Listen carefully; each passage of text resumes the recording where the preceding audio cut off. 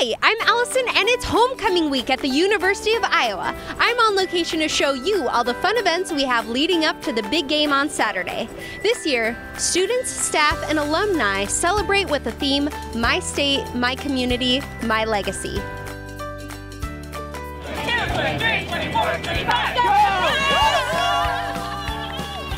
Kick off homecoming week by competing in the Hawkeye Hustle. The Hawkeye Hustle is a four person relay race around campus's iconic Pentacrest. The race features four different challenges that represent the Our Iowa theme.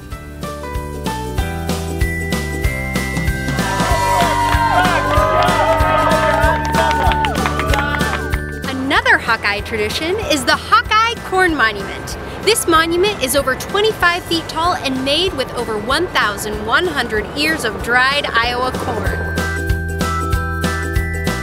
As night falls on the Pentacrest, four teams prepare to compete and capture the Capitol, which is the Hawkeye version of Capture the Flag.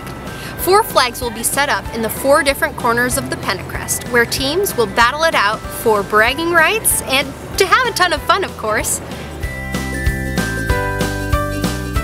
Display at the Iowa Memorial Union is our rich history of homecoming buttons. The collection has buttons dating all the way back to Iowa's homecoming game back in 1924. You're going to love the homecoming parade, featuring floats from local businesses and student organizations as well as special guests. The parade takes place in downtown Iowa City, so grab a spot and enjoy the show.